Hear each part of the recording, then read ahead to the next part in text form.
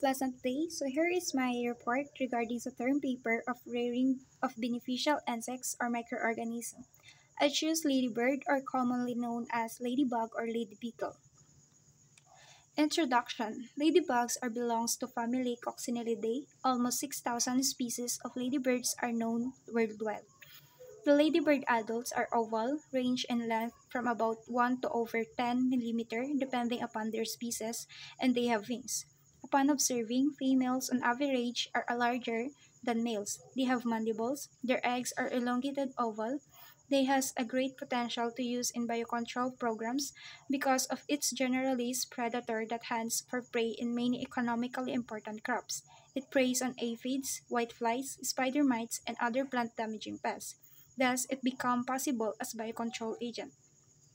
Sampling and collecting. Upon entering the field, I look for areas where lots of insects are present and try to collect beneficial control agent. In scouting, I found different organisms that can be used as BCA like spider and ladybugs. I chose to collect ladybugs, ladybugs and put it in a plastic container. As what we can see in the picture, the weather that time was sunny and a bit windy. Adult stage life cycle of the insect and my observation. These ladybird adults are oval, may range in length about 1 mm. The female I've collected are larger than the male. As we can see in the picture, they are brightly colored. I also cut the leaves and put it together with the ladybugs into the container. Egg stage. After 2 to 3 days, I noticed that there are some little tiny eggs in the leaves. There are about 20 or more when I count it. Larval stage. After 4 days, ladybug larvae emerge from their eggs. Upon observing, the ladybug larvae look somewhat like tiny alligators with elongated body and bumpy exoskeletons. They are black with brightly colored spots or bands. Ladybug larvae molts in four instars or larval stages before preparing to pupate. I give them food immediately after they emerge from the eggs. Pupal stage. The larva attaches itself to the leaf and is ready to pupate. In pupal stage, the ladybug is somewhat colored yellow with black markings. Upon observing, the pupa remains still attached throughout the stage. After pupal stage, it takes 7 days before it hatches. The newly emerged adults have soft exoskeletons and looks like vulnerable. They appear pale and yellow after they emerge but soon develop the deep bright colors for which ladybugs are known after two hours. Their cuticles began to harden and the spot began, began to appear. Adult, adult stage and second cycle.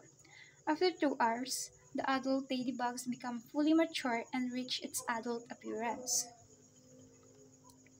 Egg stage and second cycle. The eggs the, there are 11 exact number of eggs. They are tiny and color yellow. In larval stage, after 5 days, they emerge into eggs. They are color black with bright color of yellow, elongated body, same as in the first cycles. So, dito po nagtapos yung ano, observation ko po sa life cycle ng ladybugs. Upon management naman po, After collecting ladybugs, I put it in a small transparent plastic container. When I got home, I put some of them in a jar with the leaves they are attached on. Upon, upon observing every stage of its life cycle, I take them, I take them out from, the, from their jar or container to take them a picture. Regarding of regarding to the feeding management, I put a wet cotton balls inside the jar or container for them to have drink. I also took aphids, whiteflies, or any soft bodies insects in our backyard garden to feed them.